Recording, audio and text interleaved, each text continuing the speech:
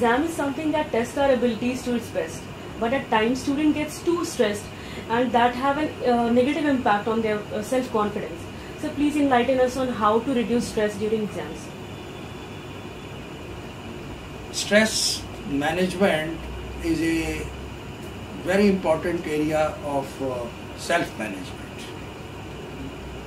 Stress is being experienced by my inner self and the environment around me, which basically means the business propositions and problems in which you are engaged, the problems which are uh, standing on your head, the way you are transacting business with your colleagues, the way you are handling your customers and uh, subordinates, the way you are handling to the queries made by your superiors, all this constitutes your environment.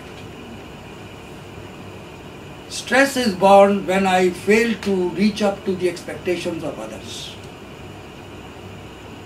Stress is born when I fail to gauge or measure the size and the intensity of the problem.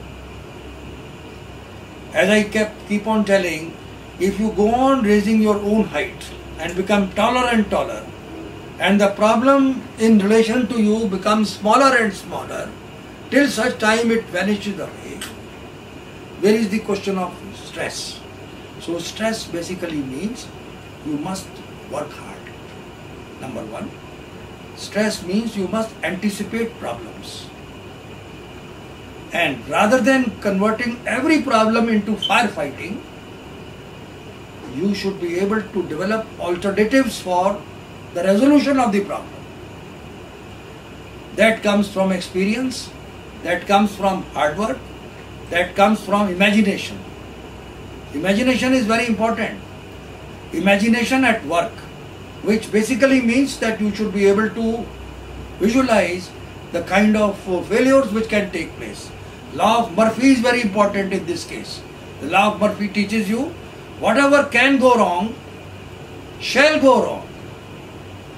And if you can control it from going wrong, work for it now. More you work now and here, less probability that you will have stress. Again, procrastination or tendency to postpone work is the mother of stress. When we keep on allowing the things to pile up. And finally,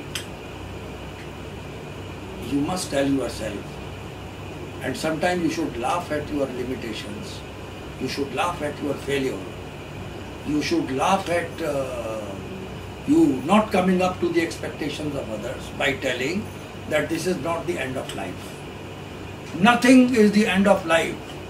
Even if I score, let us suppose, not a GPA of 9.5 but 8, it is okay. Where is the reason for stress? So you must accept your limitations. You must accept within the limitations how you can produce best results. You should have coping mechanisms, coping mechanisms, and we should not make fruitless, purposeless comparisons. All of us are designed to carry out a particular task in life by the divine and by our teachers and by ourselves. So, if you go on making unnecessary competition, uh, unnecessary comparisons, that can reduce your confidence. So, be what you are. In some areas, you could have competitive advantage or comparative advantage. Develop yourself into those areas. Take up those assignments where you are at best. Avoid those challenges where you know from the very beginning that you are not meant for it. When you take up assignments and job opportunities which are in tune with your personality or where the line of best fit occurs, there you will find work will become a play. Work will become a play and you will not get tired or exhausted nor you should have any stress. Stress comes from the gap between your expectations and your capacity to manifest those expectations into realizations. Therefore, have reasonable expectations from life. Know your limitations. Do not make unnecessary comparisons. Identify areas where you are best and where you have competitive advantage. Then in that case the work will become a hobby.